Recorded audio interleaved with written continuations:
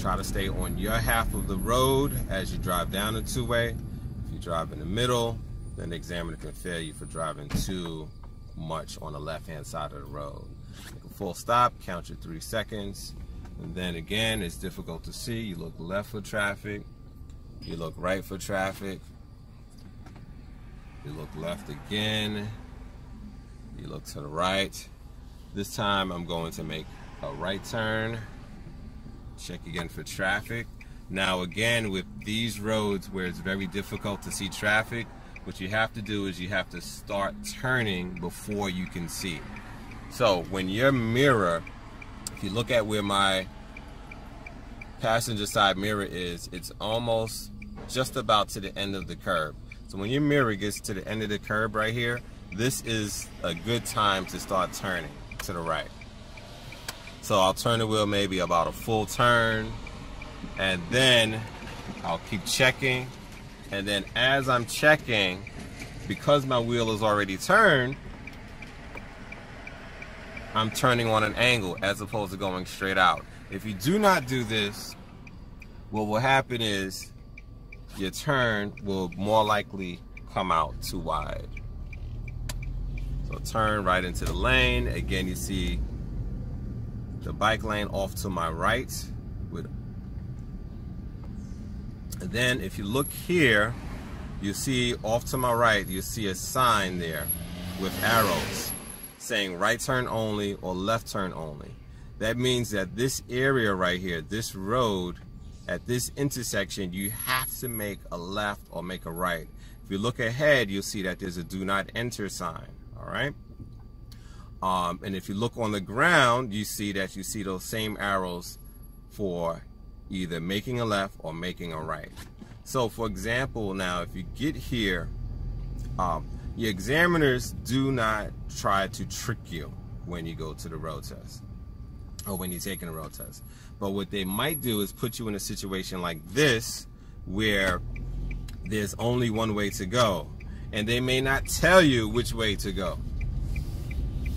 If you ever get to an intersection and examiner does not tell you which way to go, most most of the time you go straight. But if for some reason you know that you cannot go straight, and examiner is still not telling you which way the, which way to go, then that means that there's some type of sign or lane marking or pavement marking that is telling you which way you should go. So in that situation, that street that I just came from, there were pavement markings there telling you that if you're on the left hand side, if you're in this lane, you have to make a left turn. If you're in on the right hand side, you have to make a right turn. Just like these arrows here telling you that you could go either straight or make a right. Now this is very tricky because if you look here, there's a one-way sign pointing out of this road, but look at the car. The car is facing in that direction. All right, this is very tricky. I have no idea why that sign is that way or facing in that direction. I, I, I suspect it's supposed to be facing the other direction. And it just got turned around for some some reason.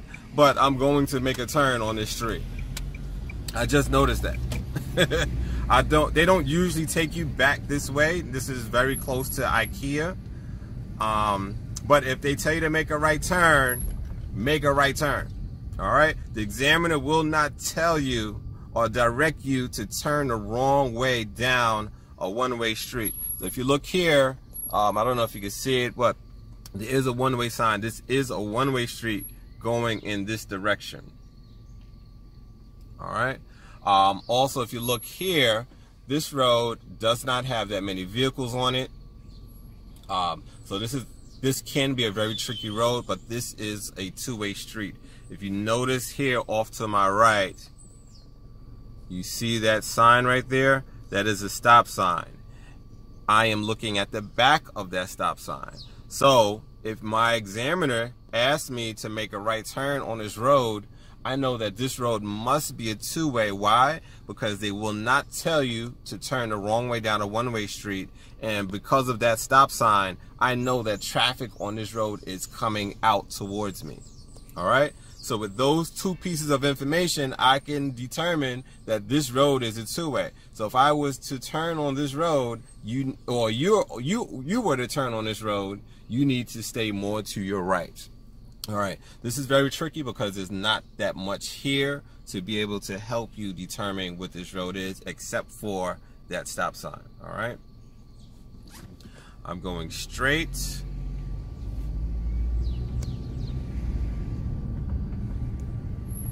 There's a stop sign here. It's an odd place because it looks like it's a stop sign in the middle of the road. All right traffic uh, traffic come is coming from the left. Uh, the traffic coming from the left does not have a stop sign. All right, so that traffic coming from the left side there has the right of way over you at this intersection. All right, I'm gonna drive back down this road. This is a one-way road.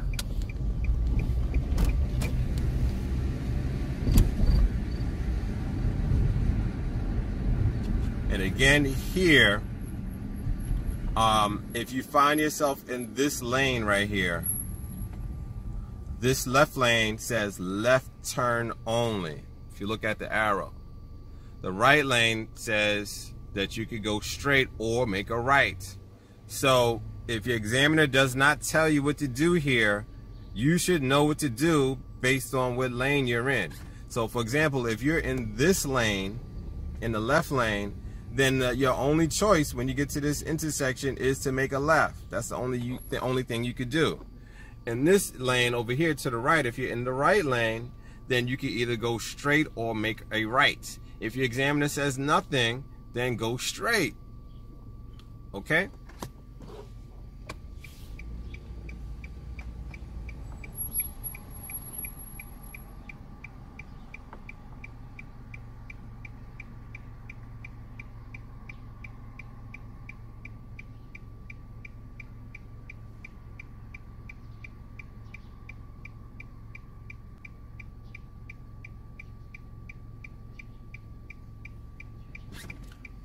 Okay, I'm going to take you in another direction that they don't normally go. Um, so again, again, if you notice here, uh, we have the bike lane and the car is sharing the lane. In this situation, there is no possible way that you can avoid being in a bike lane uh, because the bike lane and the car and and, and, and the lane of traffic share the exact same amount of space. Amount of space. And over here, the bike lane is moved over to the right, so you don't have to worry about it. But the, the, the section that I just passed, the bikes and the cars share the same lane. Here, on this road, the bike lane actually has a solid white line on both sides. Also interesting, if you notice a bike lane and it has dotted lines on it, that means you can cut across the dotted line part of the bike lane. All right, so back here, this is a little bit more residential. This is the more residential part of Red Hook. They don't normally take people back in this area, but they can. This is also part of the road test site. All right, if you go up here, you'll go straight down. They'll typically go straight down. Um, and then they may ask you to make a left turn here on this road.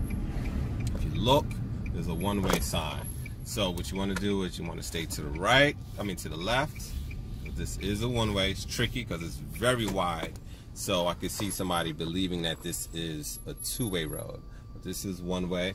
I'm going to make another left coming down, coming down this road right here. Um, if you look, there's a sign there that says two-way traffic ahead. There is not a stop sign here, so I'm not going to stop. I'm just going to proceed. And now my one-way turns into a two-way road.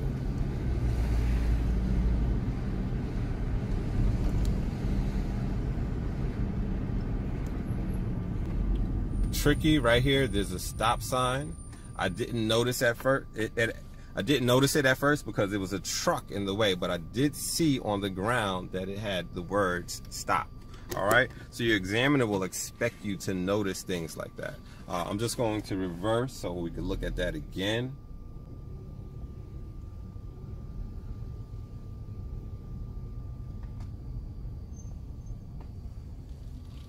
Okay, very, very tricky.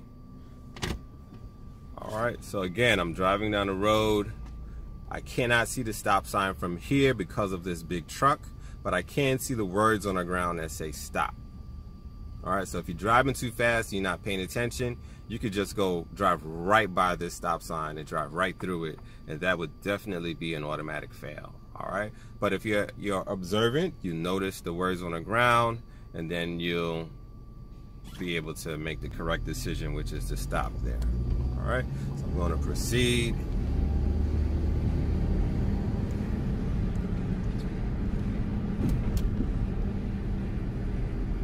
Here I get to another stop sign. Stop signs always make a full stop in the correct place. Wait at least three seconds before you start moving. Okay, here Again, this is the more residential side.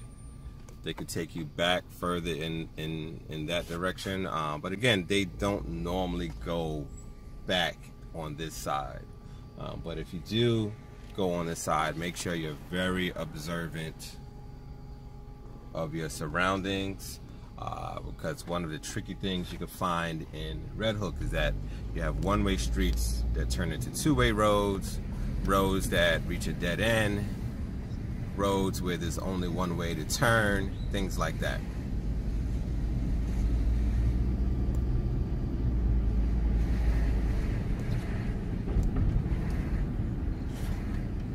So I'm going to take this road all the way down to where IKEA is.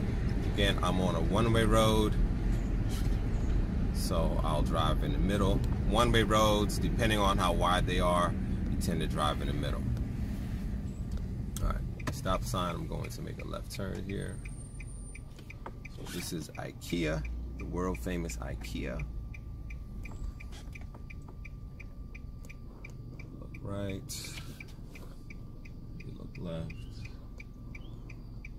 I see a car coming on the left side. Actually, they're going into IKEA. So I'm just going to go up and make my turn.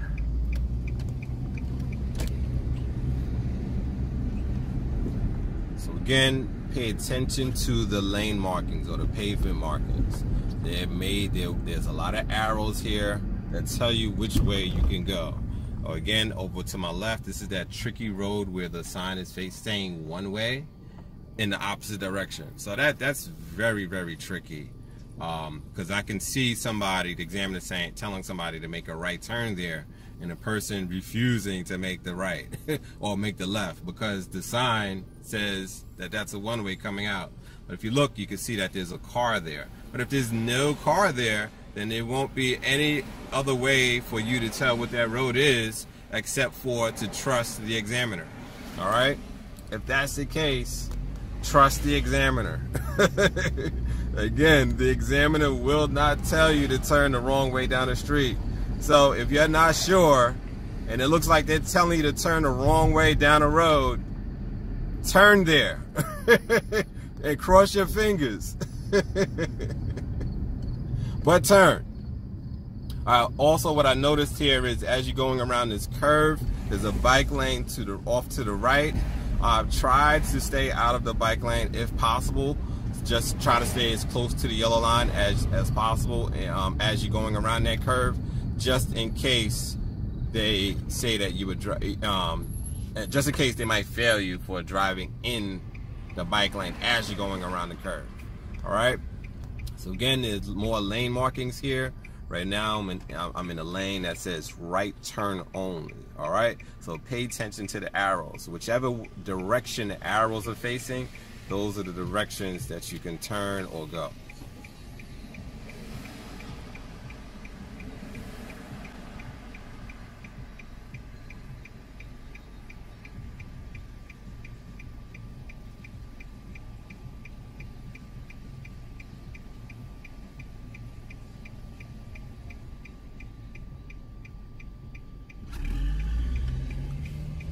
Make this right turn. Try to make it a little wider, closer to the yellow line. You make this turn, and then I'm approaching the beginning of the road test site, and then that's it. And then you pull over, and then you're done.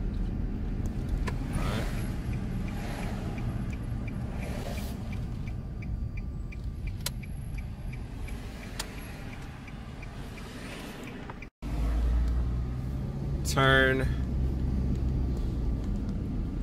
If you come to this intersection right here if you notice off to my right there are two signs there. Uh, there's one sign that has two arrows on it that tells you which direction you could go at this intersection. Also if you look on the ground there are two separate lanes with two different sets of arrows on the right side, it says right turn only. On the left side, it says left turn only. If you look straight ahead, you will see that there's a sign that says do not enter. Normally, if the examiner does not tell you which way to go, then uh, you would go straight. But here, you cannot go straight. All right. So your only choice is either to make a left or right. And there's several signs and several pavement markings that tell you which way to go. So it is very common that you could get to this intersection and examiner does not give you any instruction. If they do not give you any instruction, then you must go in the direction or turn in the direction that you see the arrow is facing for your lane.